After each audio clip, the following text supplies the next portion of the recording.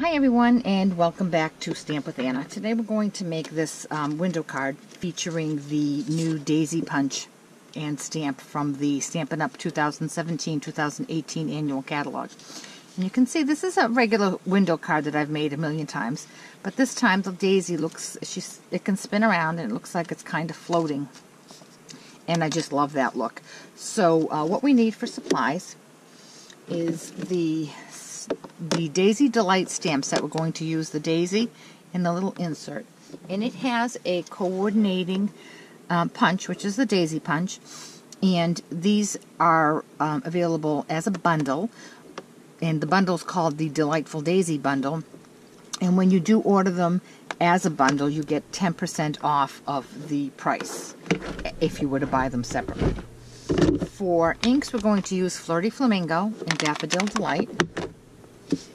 For paper, we're going to use some thick Whisper White because that's going to be our card base. It's four and a quarter by 11, scored at five and a half. We have some Flirty Flamingo, four by five and a quarter. And we just have um, some Daffodil Delight and Whisper White. We're also going to use the layering circles framelits and I used the second largest circle and the second largest scallop. And that's what I used to make my um, frame there. So I'm going to put those aside. Then we need some Stampin' Dimensionals. And for this one here, the ribbon I used was um, Daffodil Delight seam binding, but I finally ran out of it. So I'm going to make this one using the Daffodil Delight striped grosgrain, and um, I think it'll look just as nice. We do need some repositionable tape as well as some snail. And um, what I used to make my daisy spin here, you can see it very slightly right there, is some fishing line. My husband fishes, so I was able to get this from him. Um, if you couldn't find this, I guess you could use um, some clear dental floss or um, a baker's twine that didn't contrast too much if you had a piece of white baker's twine.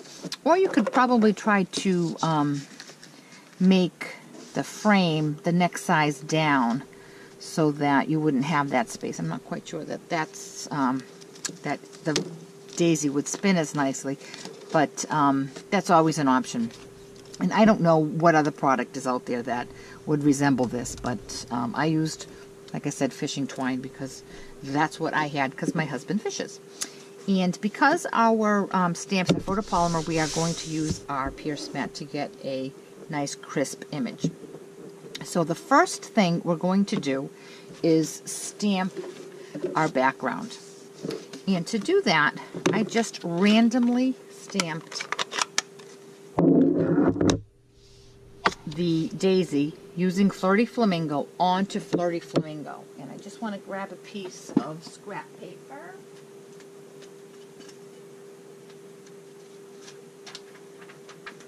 Okay, sorry about that. Because I'm going to be stamping off, I wanted to um, protect my Pierce mat. So, first things first, just straighten this up here. I'm going to ink up the stamp and just randomly stamp.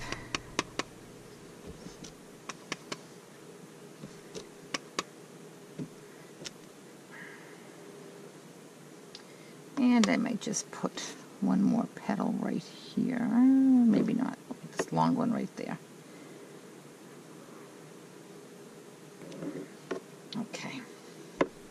And I think that'll do me. So now what we have to do is make our window. And to do that, we are going to attach this so that we know where to place it. We're going to attach this with repositionable tape, just a couple little lines. Because we're going to take we're going to take it off afterwards. And we're going to center that onto our card front, a card base, excuse me. Now I'm going to bring up my Big Shot and Just push this out of the way here. I'm going to put this flat there and I'm going to take my framelit, just the circle one, and I'm going to figure out where I want it. And I think I'm going to put it right here because I'm going to leave a little bit of space here so that I can tie my ribbon. And once I have it where I want it, I'm going to run that through. And back again. We are going through two pieces of cardstock, so we want to make sure that it cuts all the way through. And yes, it did. So I'm going to move this out of the way. And I'm going to take that off. So now this is what we have. So now very carefully, we're going to just peel this off. Okay. And, okay, the next thing we have to do is to stamp our daisies. And we're going to stamp four of them. And I stamped them along um, that strip of white paper I had. And I've already punched three of them out. So I'm just going to show you this last one. On two of them, I did punch, uh, stamp the inside, the middle piece in Daffodil Delight using this stamp here. On the other ones, um, I don't need to because they're going to be on the inside. So when I have my square, I'm going to just trim that corner off. And that's so that when I put it into my punch, these two points are a good way to be able to hold on to my paper. And having cut this piece here, I don't have that angle interfering with the inside of the mechanism on my, my stamp. I can just line this up and punch. Okay, so now we have four daisies. Now, on the card, you can see we have one on the in, outside, and then when you open it up, you have it on the, the inside as well. And those two are the ones that you want to have the yellow on.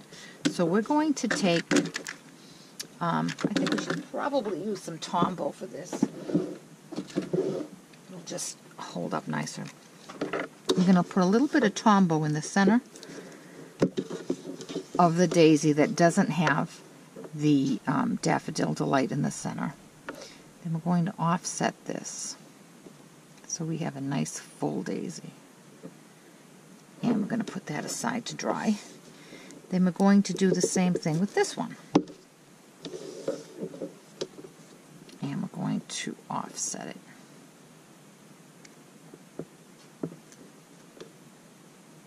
Okay, now we're going to attach it to our card. This is our card front. We're going to put a little bit of snail right at the top of this circle and at the bottom of this circle.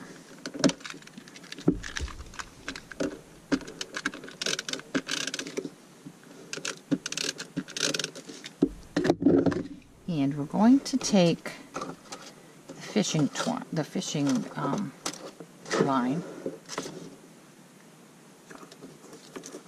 I'm going to put a little bit more Tombow right here on the back of this. You don't have to put too much, okay? But you do want to have it in the center there, okay? And once you have your fishing line, vertically, you're going to take your other daisy and line it up with that one and press it together so that the fishing line is sandwiched between the two daisies. Just give it a second to press on it. Give it a second for it to set. Okay? Now this is the front of your card. You're going to position this where it belongs, where it looks good. I think I have. I'm going to just... So, right there. This is where I like it. And I'm going to press my fishing line into my snail. Okay, on the top. And then I'm going to press it into my snail on the bottom. All right, and there's that. Now I'm going to trim my fishing line.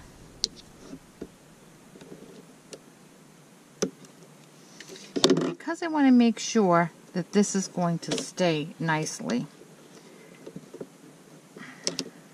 I'm going to put a Stampin' Dimensional right on top of that. We're going to put the front of our card, our card front, up on dimensionals anyway, because if you didn't and press this down, that the, the impression of that fishing line would show. So we're going to put Stampin' Dimensional right on top of that right there so that it gives it a little extra hold.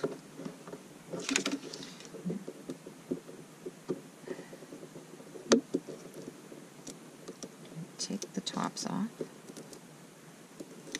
Then we're going to put some dimensionals on the back of our Flirty Flamingo. And I love that these dimensionals are um, have little straight edges on them. So you can line them up.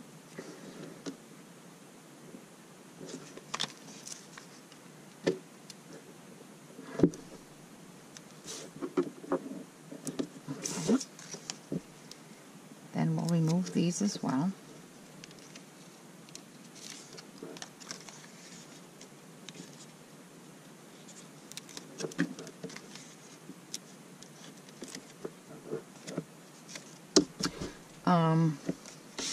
We're going to center this right here.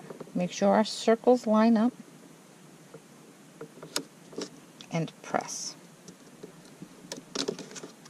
Okay. Now, probably should have put my ribbon in first, but I think I can make this work. I'm just going to run it through. I probably should have made my bow before I attach this, but because I use the dimensionals, it's just going to, I can just scooch it right out the other end. Not the best way to do it, but hey, well, there's a will, there's a way, right? So we're going to center this up. Make sure it's even. And we'll tie a pretty bow.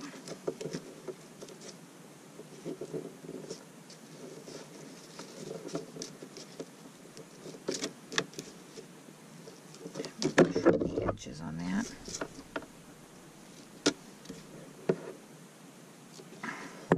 So now all we have to do is make um, our frame for the um, the daisy. And for that, we're going to use the Whisper, not the Whisper, the Daffodil Delight. I'm going to bring my Big Shot back in.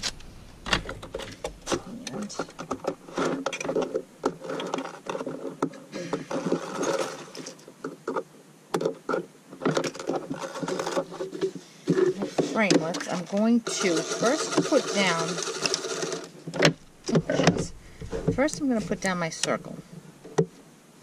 And I'm going to run that through.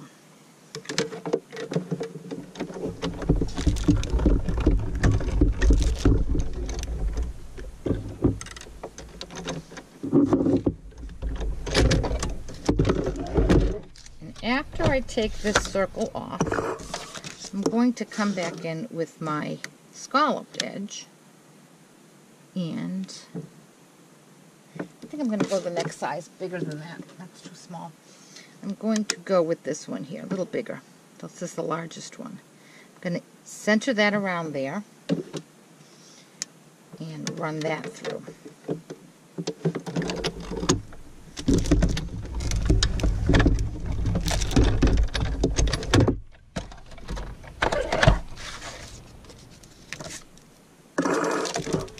And now we have our frame. You could have done that in one passing of the through the big shot if you had done this because they do nest. I found, however, when I do it this way, I always get little indentations that I'm not crazy about. You can't, you can barely see them, but they drive me crazy, so I choose to do it in two passes.